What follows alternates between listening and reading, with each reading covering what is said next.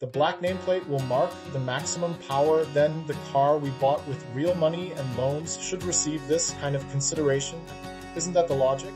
But reality is always as harsh as Fu Hang some cars may be labeled with 100 horsepower, but only 70 on the wheels some cars may have 100 horsepower when starting at a traffic light but only 70 when on the highway. Those who know cars know how deep the secrets are here. Our program only cares about the wheel horsepower that is most relevant to the driving experience.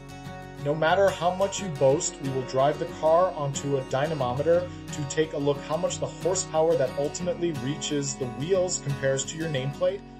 How much of a discount there is as the first episode of this new program. I thought the first car must be a heavyweight, must be able to hold the stage, must be heavy enough, so I found a 3.5 ton Yangwang U8, a Yangwang 8 with a claimed London 97 horsepower now. It has completed the full preparations. Let's count down 3 seconds for everyone to guess what the starting number of its wheel horsepower is starting with 8, 7, 6, or 9. 3, 2, 1, turn on this happy little switch. Same, I believe that the data you see is, is the same as what's in my head. Right? Drawing a big question mark. Me too, I don't even dare to calculate this achievement rate this time. Our test was conducted in sand mode. Why use the sand mode? The reason is that only in this mode that is, it can normally measure a data in other modes when you give it gas on the dynamometer. The power is interrupted. I considered that maybe the sand mode has a lot of this, this kind of posture of climbing a big slope while scratching. Then the second question is the power in this sand mode, is it full power output? Is it 1190 horsepower? How to verify this? It's very simple, do a 0 100 test, and you'll know we first used this static speed mode, which is definitely the 1197 horsepower mode, and measured as 0 100. It was 3.87 seconds then measured in sand mode. It was 447 seconds, 0.6 seconds slower. That is to say, in sand mode, it is not a full power output situation. So there is data of 500,000 horsepower on the wheels, then the achievement rate of this episode, we won't calculate it. I actually really want to help everyone measure. But I have a very distressing problem that is many cars we are testing now, many new energy vehicles, only after getting on the dynamometer.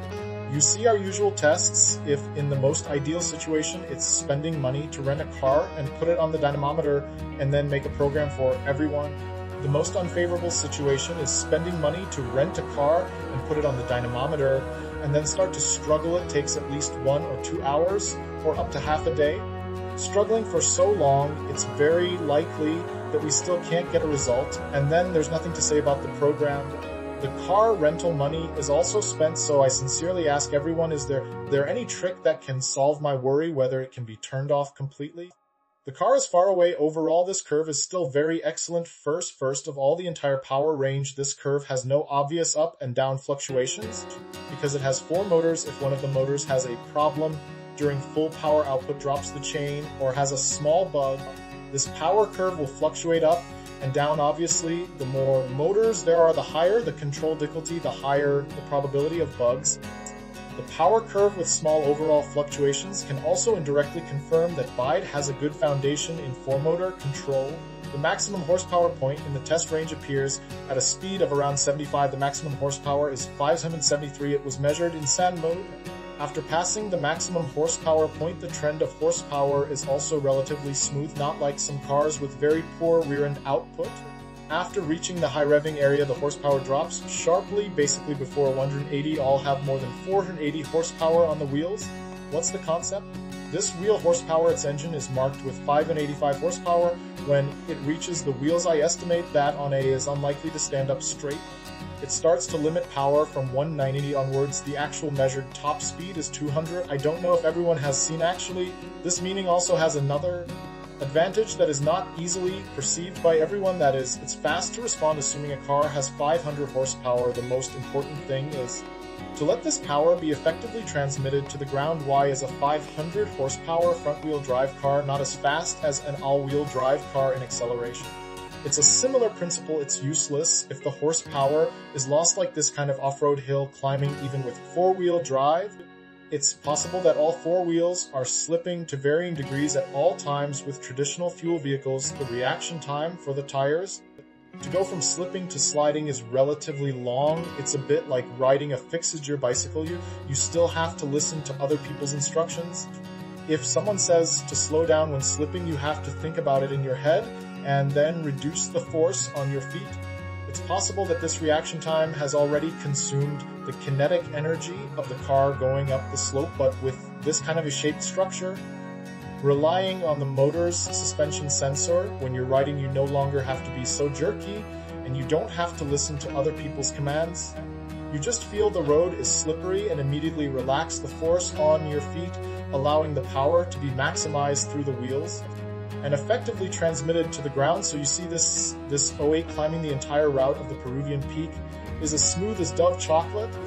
Nowhere is there any stuttering due to power loss. This performance is also closely related to the Yishik performance, but it must also be said that the LU8's four motors plus an engine structure really packs the car full from the inside out. There might not be room to put another set of reduction gears to amplify the motor's torque so it doesn't have the low-speed four-wheel drive functions similar to traditional hardcore SUVs. People with well-developed leg muscles can indeed ride a fixature bike uphill purely by strength, but in terms of posture, it's not as relaxed as riding a geared bike, so when the U8 faces this kind of low speed, steep uphill condition relying solely on the huge motor torque to climb, compared to fuel vehicles that go through a gearbox transfer case and multiple sets of gears to amplify the wheel end torque, it's actually still at a disadvantage, and when the battery is low or the temperature is high can cause the power output to be less smooth. It's uncertain whether the later facelifted AOA can add another set of gears on top of the four motors to amplify the motor's torque, so that it can achieve a more relaxed climbing posture of course. If you add another set of gears to the four motors, the torque difficulty of the entire system will definitely go up another level, but I don't think anything is impossible with Yangwang the curve is like this. Let's do another acceleration test. Question, how do you push a 3.5 ton Behemoth to the same acceleration level as a 9 Len 11 put in two motors, two motors aren't enough, put in three? If three aren't enough, put in four. There's nothing that horsepower can't solve. Let's experience this car's acceleration. Now it's in race mode and let's do a launch a wave of dizziness. It's too terrifying. Now it's four motors pushing this behemoth. It immediately exceeds 180 km and reaches 400 meters. Break a moment. I'm sorry my speech was a bit delayed just now. It's really a bit scary. This car at the end after crossing the finish line and then going uphill for deceleration, it was a bit bumpy, forgive me. I don't have the ability my current driving skills are not worthy of this 1000 horsepower monster, and now let's see what kind of acceleration performance this car has. In race mode, this 3.5 ton steel beast can break 100 kms in 3.87 seconds. Just watching the launch control from the outside is a bit mind-blowing. A huge thing next to you disappears in a flash from the curve. You can also see the 3.87 seconds to break 100 in race mode and the 447 seconds in sand mode, the obvious difference is in the starting phase, the value difference is not small, the feeling in race mode is like being catapulted out. Sand mode lacks that feeling of being catapulted. After 35 KVUs, the values of the two are very close. But looking at the overall details, the value in race mode is slightly higher, so the difference in acceleration from 60 to 160 Smaller than 100 race mode takes 5.73 seconds for 60 to 160. Sand mode takes 6.28 seconds, which is also an extremely fast result. It's no problem to compare it to in Power Bomb. It's like an athlete who can win medals in both weightlifting and the 100 meter dash. It's that magical like those steel cannons that go bang bang bang on the street.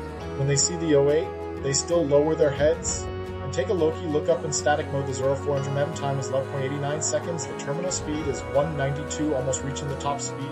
The acceleration throughout the entire range is very powerful. It's also performance that rivals sports cars, so that's all for this episode of Yangwang U8.